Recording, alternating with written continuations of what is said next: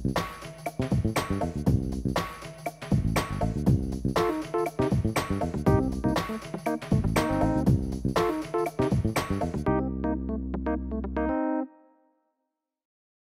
Como o Judiciário deve lidar com a situação de injustiça social e violência no âmbito dos direitos humanos?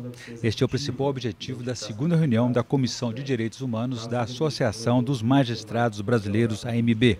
O encontro aconteceu aqui em Belo Horizonte, na sede da Associação dos Magistrados Mineiros, e será coroado com a palestra do eminente professor e juiz da Corte Internacional de Justiça, Antônio Augusto Cansado Trindade, sobre direito internacional dos direitos humanos. O Pensamento Jurídico participou e fez uma edição especial do evento. A reunião foi conduzida pelo vice-presidente de Direitos Humanos da MB, juiz Ricardo Barreto, pelo diretor de Cidadania e Direitos Humanos da Amages, juiz Carlos Frederico Braga da Silva, e pelo secretário de Direitos Humanos da MB, juiz Marcelo Roseno. Participaram do evento magistrados de vários estados brasileiros. Doutor Ricardo, o que representa hoje o debate dos direitos humanos para o judiciário, especialmente no Brasil de hoje, no mundo de hoje? Eu acho que é, direitos humanos, hoje, para a magistratura, é uma questão muito importante porque ela dá à sociedade a possibilidade de nós, junto à sociedade, estabelecermos um contato maior que não sejam pautas meramente corporativas, administrativas, internas. Então, através da, da, da atuação da vice-presidência de direitos humanos, né, o trabalho dos magistrados nessa área, você consegue manter com a sociedade um, um contato que aproxima e que que através da nossa percepção sobre temas como a questão dos presídios, a questão do, da, dos menores, a questão da questão do eh, lavagem, lavagem de capitais, todas as questões atinentes aos direitos humanos, ela termina nos dando a possibilidade de, de dar à sociedade essa percepção da magistratura sobre esses, esses temas e aproximar, aproximar, aproximar, aproximarmos das, da, dessa sociedade que, da, da qual nós dependemos também do desenvolvimento dos trabalhos do dia a dia né, nos fóruns. E como é que o judiciário deve atuar diante de iminentes violações de direitos humanos, injustiças sociais? Eu acho que a, o judiciário não pode, nesse tipo de caso, manter-se imparcial. Eu acho que a opinião, entendimento dessa atual gestão é que nós participemos, que nós é, tenhamos registradas as nossas posições nesses casos, que não são poucos, diariamente pulam aí pelo Brasil questões envolvendo as mais diversas facetas. Né? E, e o judiciário não pode tomar aquela, aquela posição que se toma, por exemplo, no processo judicial, de imparcialidade, esperando que, que os problemas sejam trazidos pelas partes. Eu acho que nesse tipo de casos nós temos que atuar proativamente, né? chamando a atenção sobre quais são as questões que merecem ser levantadas e aprofundadas e, e, e, fomentando dentro dos próprios magistrados a necessidade de se olhar os direitos humanos como os direitos humanos como algo que ele tem que aplicar ali no seu no seu dia a dia, no dia a dia das suas atividades, e não meramente um, uma convenção, um código, algo que uhum. além de cumprir as leis. Né? Exatamente. A, a, atualmente é bastante é, evidente isso. Nós não podemos nos ater somente à legislação. Nós temos que olhar os tratados, até porque eles fazem parte de uma correlação correlação internacional de, entre os países e você, e você tem que trazer isso para o seu dia a dia, aplicá-lo no, aplicá no, no dia a dia dos magistrados e aplicar realmente no sentido de transformar aquele espaço em que você atua em algo realmente melhor para a sociedade. Hoje o senhor está aqui presidindo aqui em Belo Horizonte a segunda reunião da, da Comissão dos Direitos Humanos, Diretoria dos Direitos Humanos da AMB. Que balanço faz desses primeiros três meses de atuação? Na realidade, nós estamos no segundo trimestre, nós tivemos uma reunião que, que foi em abril, que, que é, essa primeira reunião em abril, ela se... É, ela buscava fazer um balanço sobre os primeiros três, quatro meses, e agora nós estamos na segunda reunião anual. É, de, nos últimos meses a gente foi prejudicado por essa paralisação geral do país por conta da Copa. Né? Então, a, o Congresso estava paralisado, a, muitas das instituições, as suas atividades normais estavam também prejudicadas, mas de novidade, de muito importante que nós tivemos nesses três meses foi a confirmação da MB entre as instituições que farão que, farão, é, que serão titulares na Comissão Nacional, Comissão Nacional de Prevenção e Combate a e combate à tortura.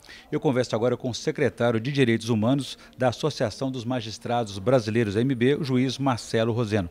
Doutor Marcelo, qual que é a importância de uma comissão de direitos humanos, a vice-presidência, a Secretaria de Direitos Humanos da MB e o papel deles nessa eh, reunião de hoje.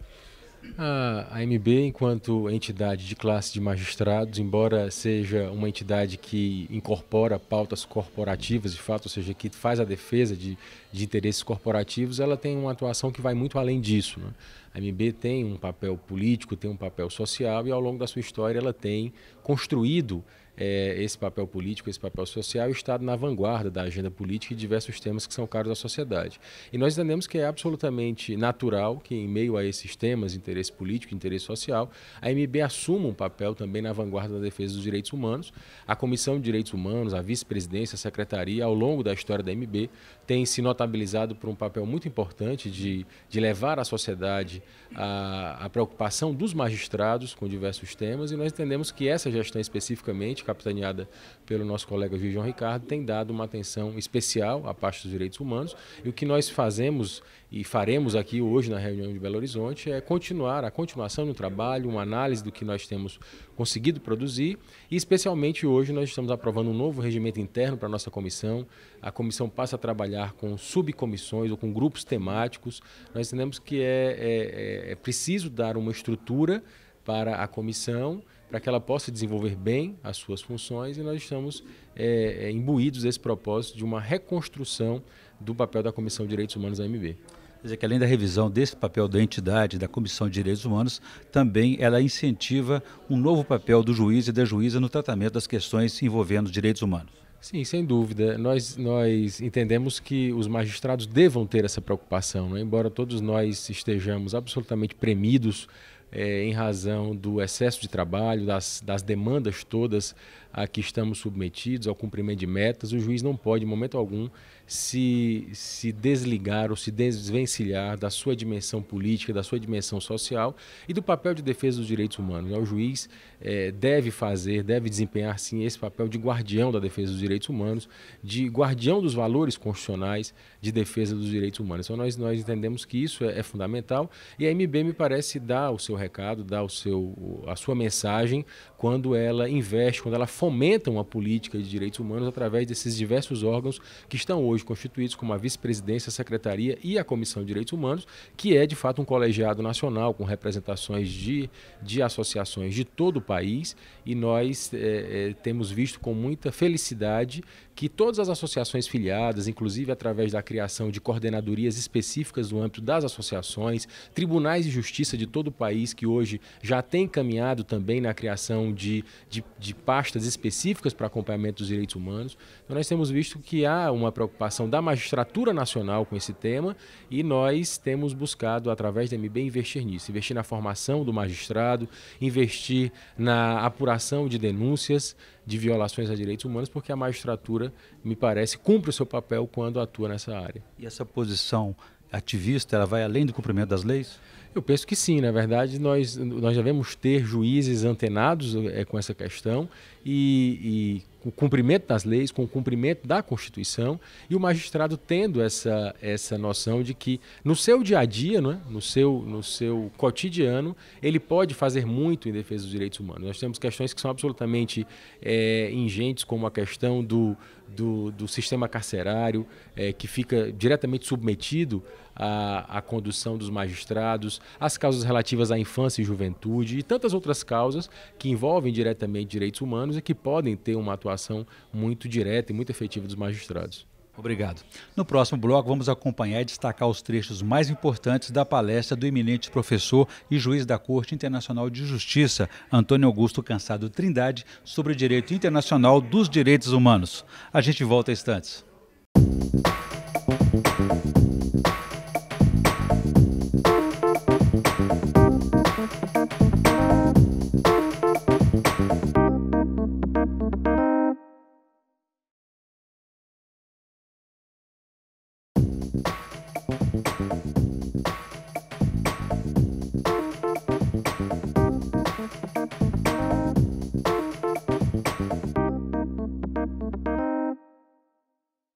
Estamos de volta com o Pensamento Jurídico. Hoje uma edição especial para destacar a segunda reunião da Comissão de Direitos Humanos da Associação dos Magistrados Brasileiros, AMB, aqui em Belo Horizonte, para discutir o papel do Judiciário diante de violações dos direitos humanos. Neste bloco, vamos focar a palestra do eminente professor e juiz da Corte Internacional de Justiça, Antônio Augusto Cansado Trindade, sobre o direito internacional dos direitos humanos. Confira os principais trechos.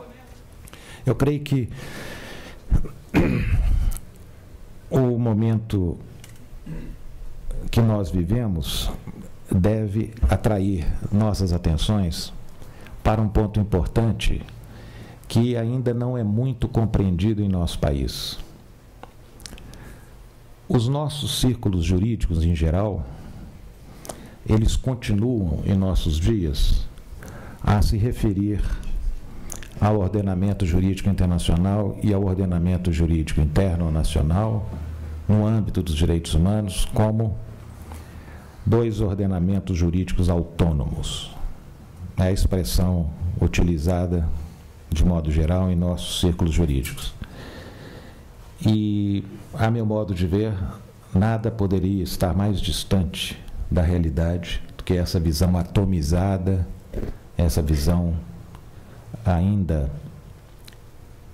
infiltrada de um dualismo decimonônico e que prevalece até o presente. Nós estamos em 2014 e até o presente, nos círculos jurídicos, no poder legislativo, mesmo no poder judiciário, no plano federal, ainda se fala eh, na ordem jurídica internacional em matéria de proteção como subsidiária à ordem jurídica nacional. Então, eu gostaria de dar início a essas reflexões, criticando essa postura, a meu modo de ver, é, regressiva.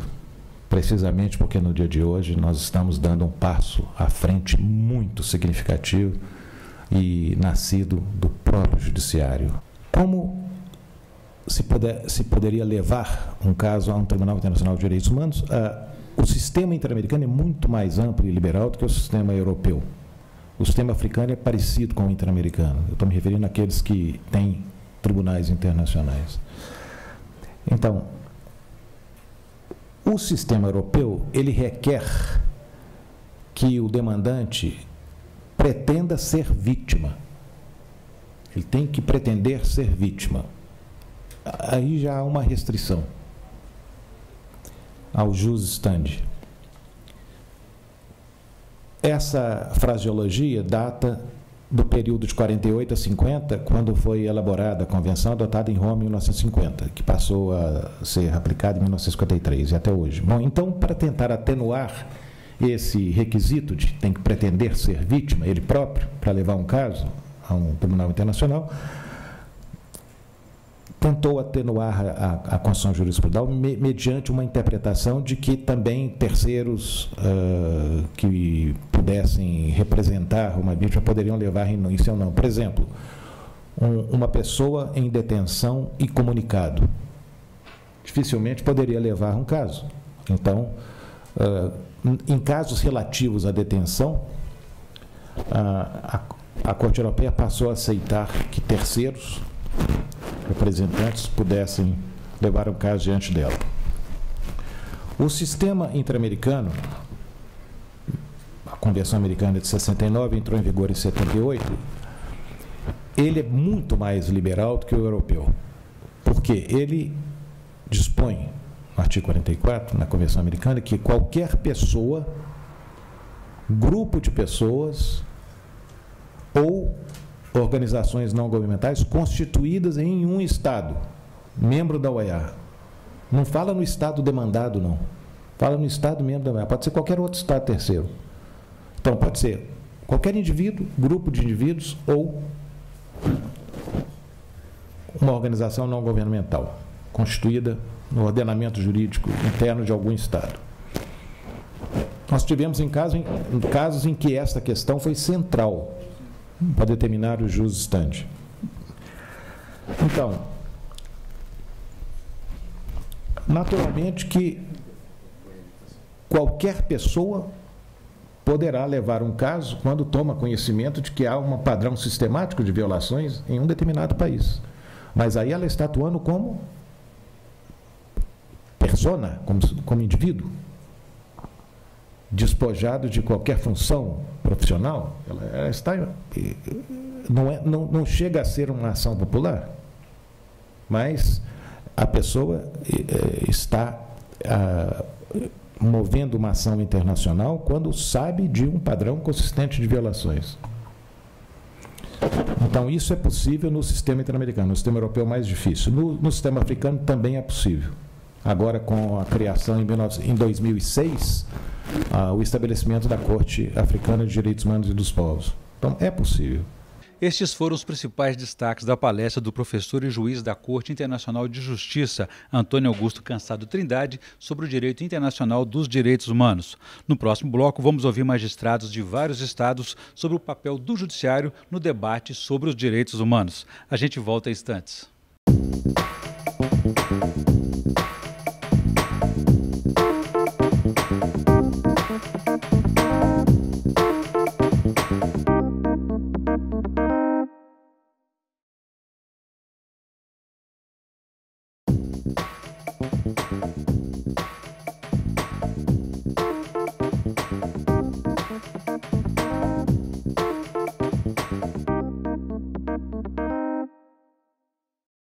Estamos de volta com Pensamento Jurídico. Hoje é uma edição especial para destacar a segunda reunião da Comissão de Direitos Humanos da Associação dos Magistrados Brasileiros, MB, realizada aqui em Belo Horizonte, na Associação dos Magistrados Mineiros, a AMAGES, cujo objetivo é discutir o papel do Judiciário no combate às violações dos direitos humanos. Aqui ao meu lado, o anfitrião do encontro, o presidente da AMAGES, desembargador Herbert Carneiro. Presidente, qual é a importância do debate dos direitos humanos no âmbito do Judiciário?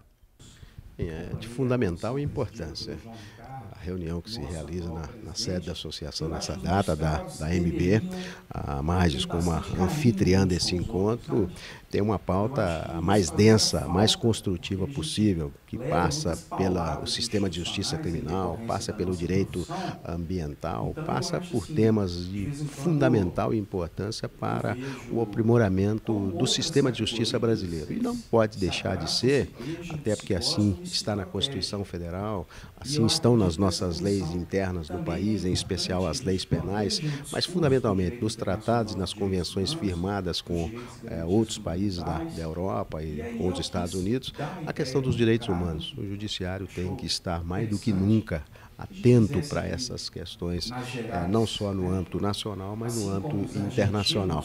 Então, a pauta colocada aqui hoje, é, com certeza, é, ela para mim significa uma sintonia é, do judiciário brasileiro com os temas é, que estão hoje na discussão e na pauta mundial. Né? E os direitos humanos, naturalmente, é o carro-chefe de toda essa, essa discussão. Mais uma questão aqui, presidente, é, esse envolvimento da associação dos magistrados na discussão desse debate dos direitos humanos e também o novo papel do juiz. Como é que o senhor avalia essa, essa renovação, tanto do papel associativo também como do papel contemporâneo do juiz e da juíza na questão dos direitos humanos? mais do que nunca e no presente momento de maneira muito importante. Não é uma visão só uma visão do Brasil, é uma visão internacional. É, o juiz é um agente político e deve é, ter na sua mente, deve ter na sua atuação isso introjetado da maneira mais significativa possível. É possível que o juiz esteja contextualizado é, com o que acontece no mundo, com o que acontece no país, e aí envolve tanto a saúde, a educação, o sistema penitenciário, para que ele possa é, produzir decisões de boa qualidade, para que ele possa participar de debates com a sociedade, com as instituições, com os poderes constituídos e ajudar a contribuir para é, não só é, um Estado que seja mais republicano, que seja é, mais contemplativo daquilo que, esteja na que está na Constituição e está nas leis, mas que ele interprete o que a sociedade espera é, do sistema de justiça. Então, estar aqui hoje e ao final do dia, é, com uma palestra do professor Antônio Augusto Cansado Trindade, que vai nos brindar, sabidamente, um mineiro ilustre que hoje integra a Corte de Haia, é, na minha modesta visão, é fechar esse trabalho desenvolvido aqui hoje pela comissão é, com chave de ouro, ouvindo uma das maiores autoridades internacionais em direitos humanos, é, que vem é, dialogar, debater com os juízes essas importantes questões. Agora eu converso com o diretor de Cidadania e Direitos Humanos da Associação dos Magistrados Mineiros, AMADES, o juiz Carlos Federico Braga da Silva. Doutor Carlos Federico, como assegurar os direitos humanos em tempos de crise econômica? Olha, Orion, isso aí é um desafio não só no Brasil. Nós temos aqui grandes desigualdades econômicas, sociais, ligadas aí ao próprio exercício da cidadania e agora com essa comissão de direitos humanos nós vamos abrir um espaço para na prática ver como que o magistrado pode cumprir e fazer cumprir a lei que é o chamado direito internacional dos direitos humanos, que visa complementar, suplementar as garantias fundamentais previstas na Constituição. Isso pode ser feito mediante debates, consenso, políticas públicas. Em não havendo acordo, podem ser propostas ações civis públicas, ações populares, e o magistrado então vai decidir e vai apresentar a decisão dele para consideração tanto da sociedade quanto da comunidade jurídica. Doutor para a gente encerrar rapidamente aqui, esse encontro de hoje será encerrado com a palestra do eminente professor Antônio Augusto Cansado Trindade. O que, que representa essa palestra dele aqui hoje? Olha, isso representa a concretização de um sonho, até mesmo do professor Antônio Augusto Cansado Trindade, que na década de 80 e 90 batalhou inicialmente no Brasil para que o nosso país subscrevesse os tratados e convenções internacionais das Nações Unidas, depois na Corte Interamericana de Direitos Humanos por dois mandatos, em decorrência dele ter se destacado de uma maneira impressionante na condução da Corte. Ele foi o candidato mais votado da história para integrar a Corte de Haia.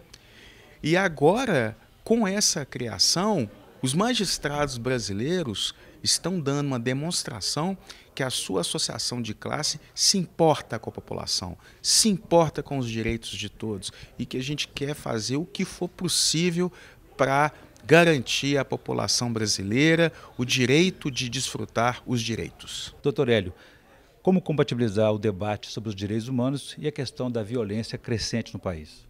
Esse é um problema crucial no Brasil, um problema crucial no mundo, né? O jovem, por ser um ser peculiar em seu desenvolvimento biopsicossocial, ele traz aí uma necessidade de uma educação, educação do Estado e educação da família. E nós estamos fragilizados nesta área. Estamos dentro do Estado e dentro da, da família com muitos pontos a serem construídos. Hoje, no que diz respeito aos direitos humanos, nós precisamos focar na área da educação, inicialmente e área da saúde. O jovem, em sua adolescência, ele traz uma transgressão. E essa transgressão é a marca da juventude, quando você se constitui como sujeito de direitos. E a sociedade não está preparada para isso, e logo ele é taxado de um adolescente rebelde, um adolescente que precisa de uma contenção pela violência. Então, violência e direitos humanos são temas bem correlatos, que precisam de uma atenção muito especial do Poder Judiciário e de toda a sociedade. Você falou da importância do papel da família nesses casos. Como entender isso se a família está desestruturada também? É, a, a, Constituição brasileira e o Estatuto da Criança e do Adolescente diz que é um direito da criança a convivência familiar e comunitária, e dentro de uma convivência saudável, afastada de ambiente de drogas e de violência. Nós temos hoje as famílias muito despreparadas, a formação dessas famílias não tem a, é recebido a assistência devida do Estado, que é uma assistência, uma proteção especial dada pela Constituição, é dever do Estado dar assistência a essas famílias. E, infelizmente, tanto na parte, de, na parte da educação e na parte de proteção à família, esses jovens estão inseridos dentro dessa fragilidade social. Então, a tecnologia social de proteção à infância e à juventude, infelizmente, o Estado tem mais de 20 anos, mas nós ainda estamos no início de uma grande luta para consagrar essa proteção integral a criança e o adolescente no Brasil. Eu converso agora com a juíza Maria Roseli Gasman, que é presidente da Associação Brasileira de Magistrados e Promotores e Defensores Públicos para a Infância e Juventude e também secretária de Direitos Humanos da Associação dos Magistrados Brasileiros. Doutora Maria Roseli, qual a importância do debate dos direitos humanos para criança, adolescente, idoso?